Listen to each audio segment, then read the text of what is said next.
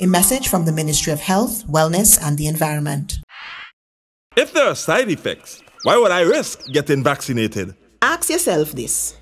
You gonna rather get a little bit of discomfort from getting vaccinated, or you rather get COVID 19, which can make you sick like a dog, send you to the hospital, or end up dying? And how you gonna feel if you pass on COVID to somebody you love? Do not procrastinate, but rather let us vaccinate.